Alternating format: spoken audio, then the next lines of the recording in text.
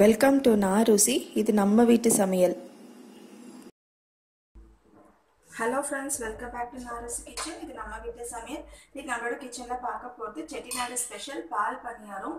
இது எப்படி சேர்த்துன்னு பார்க்க போகிறோம் அது பார்த்தீங்கன்னா ஒரு கப் அளவுக்கு பச்சரிசி எடுத்து வச்சுருக்கேன். அதே கப் அளவுக்கு பார்த்தீங்கன்னா கால் கப் அளவுக்கு வந்து உளுத்தம் உளுத்தம்பருப்பு எடுத்து வச்சுருக்கேன். அதாவது மூணு டேபிள் ஸ்பூன் அளவுக்கு இதுதான் அளவு. ஒரு கப்பு பச்சரிசிக்கு கால் கப் அளவுக்கு உளுத்தம்பருப்பு. இது ரெண்டையுமே நல்லா களைஞ்சிட்டு ஒரு ஒரு மணி நேரம் நல்லா ஊற வச்சு எடுத்திருக்கேன். இந்த அளவுக்கு நான் வந்து நல்லா கழுவிட்டு ஒரு ஒரு மணி நேரம் நல்லா ஊற வச்சு எடுத்திருக்கேன். இப்போ தண்ணியை வடிகட்டிட்டு நம்ம மாவு போல் அரைச்சி எடுத்துடலாங்க. மாவு இது போல் நல்லா அரைச்சி எடுத்துட்டாங்க. நம்ம பவுலுக்கு மாற்றிக்கலாம் நம்ம இதே மாவு வச்சு மசாலா பணியாரமும் செய்யலாம் பால் பணியாரமும் செய்யலாம். ரெண்டுத்துக்கும் ஒரே மாவு தாங்க இது வந்து செட்டிநாட்டில் ரொம்ப ஸ்பெஷல் காரைக்குடி பக்கத்தில். இப்போ இதில் தேவையான அளவுக்கு உப்பு சேர்த்துட்டு நல்லா கலந்துக்கலாம் ஒரு சிட்டிக்கு அளவுக்கு இருந்தால் போதும். ஏன்னா நம்ம ஸ்வீட்டுக்கு தான் செய்கிறோம் நம்ம மசாலா பணியார் செய்யறதா இருந்தால் இதுக்கு தேவையான அளவுக்கு உப்பு சேர்த்துருக்கேன் சும்மா ஒரு சிட்டிக்கு அளவுக்கு சேர்த்துருக்கேன்.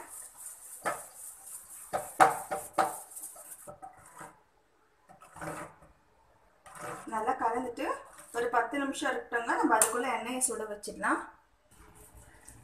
எண்ணெய் நல்லா சூடாயிடுச்சுங்க. நான் மாவு போட்டு பார்த்தேன். நல்லா எலும்பி வருது. இது பார்த்தீங்கன்னா நம்ம வந்து இந்த மாதிரி சின்ன சின்னதாக சின்ன சின்னதாக தான் பால் பணியாரம் போட போகிறோம் பாருங்க இந்த அளவுக்கு அதாவது ரெண்டு சொட்டு அளவுக்கு. இது போல் சின்ன சின்னதாக குட்டி குட்டியாக நம்ம பொரிச்சு எடுத்துடலாங்க.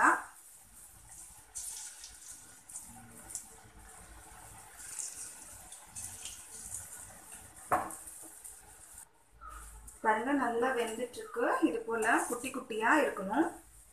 நம்ம காற்ற கிட்ட எடுத்துகிட்டு வந்து பாருங்கள் இது போல் குட்டி குட்டியாக இருக்கணும். இதுதான் நம்ம வந்து தேங்காய் பாலில் ஊற்ற போட்டோம். சோப் பண்ண போகிறோம் ஸோ இது நல்லா வேகட்டும். நான் அடுப்பு வந்து ஸ்லோலே வச்சுருக்கேன். இது கொஞ்சம் பொறுமையாக தான் நம்ம செய்யணும். ஏன்னா சின்ன சின்ன சின்னதாக நம்ம ஃப்ரை பண்ணி எடுக்கிறதால கொஞ்சம் பொறுமையாக செய்யணும். எல்லாத்தையும் இது போல் சுட்டு எடுத்துட்டாங்க. இந்த அளவுக்கு சின்ன சின்னதாக இருக்கணும். இது போல் நல்லா வெந்திருக்கணும். நல்லா கிறிஸ்பாகவும் இருக்குங்க. ஸோ இதை இங்கே பார்த்தீங்கன்னா நான் வந்து தேங்காய் பால் எடுத்து வச்சுருக்கேன். அரை மூடி அளவுக்கு தேங்காய் பால் எடுத்து வச்சுருக்கேன். இதில் நம்ம இப்போ ஒரு பிஞ்ச் அளவுக்கு அதாவது கால் டீஸ்பூன் அளவுக்கு ஏலக்காய் தூள் சேர்த்துக்கலாம். இது கூடவே தேவையான அளவுக்கு சர்க்கரை. நம்ம சர்க்கரை வந்து பொடி பண்ணியும் போட்டுக்கலாம் அப்படியும் சேர்த்துக்கலாம்.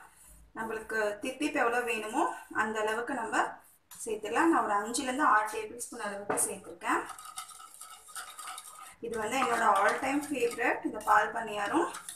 நான் நிறைய வகையான பணியார ரெசிபிஸ் அப்லோட் பண்ணியிருக்கேன். இந்த வீடியோ எண்டில் பார்த்தீங்கன்னா உங்களுக்கு வந்து பணியாரம் லிங்க் கிடைக்கும். திணை பணியாரம் மசாலா பணியாரம் ஆல்ரெடி நிறைய அப்லோட் பண்ணியிருக்கேன். எல்லாத்தையும் நல்லா கலந்துட்டு ஸோ நான் கப்பில் தேவையான அளவுக்கு பால் பணியாரத்தை சேர்த்துருக்கேன். இப்போ நம்ம இதில் தேங்காய் பாலை சேர்த்துடலாம்.